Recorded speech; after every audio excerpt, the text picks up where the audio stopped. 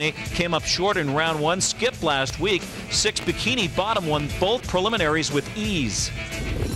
And they're off. Nobody really leaving out of there, so Dave Miller decides to send Pacific Philly, and she's going to cross over before the opening turn. The stablemates line up in behind her. Blaze of Color second. Armbro Davina races in third. She's game, backs off, and drops in fourth, and Future Destiny is fifth behind her. Second last is Winback Rita, and Bikini Bottom backed off the gate. She's seventh and trailing the field. They settle into straight alignment, and it is Pacific Philly who's showing the way here. Blaze of Color edges from the pocket there, the quarter in 27 and 2. Pacific Philly in front. Blaze of color applying some pressure on the outside is now being chased up to her throat. So these two are stride for stride and Blaze of color is going on to the lead. Armbro Davina is hard held trying to sit in there third and now she's forced to move to the outside and no doubt her stablemate will release her. So up on the outside Armbro Davina is second alongside of Blaze of color. Pacific Philly is back in third. Then racing in fourth is She's Game. Future Destiny watching the action in fifth. Plenty of pace identical 27 and two quarters. The half up in 54 and 4. And underway on the outside is She's Game. So Future Destiny ends up second over. She's five lengths from the lead with three eighths to go.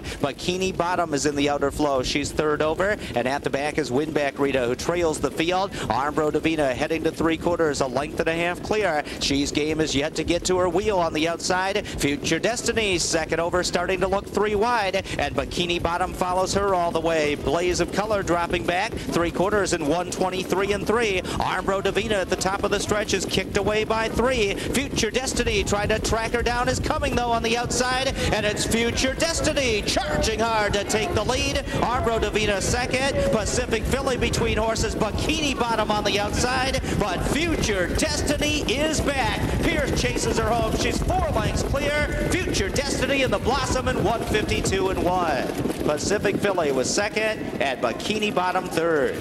The tender loving care, and now this for this promising Artiscape Philly, who bounces back from a virus with a monstrous knockout for George Foreman and Wayne Corbett. First major win for Foreman. Corbett loves those claimers with stakes and perhaps driving is in his future. Just a fifth off Rainbow Blue Stakes record. Lightning strikes twice for Pearson Teague with a $10,000 bargain.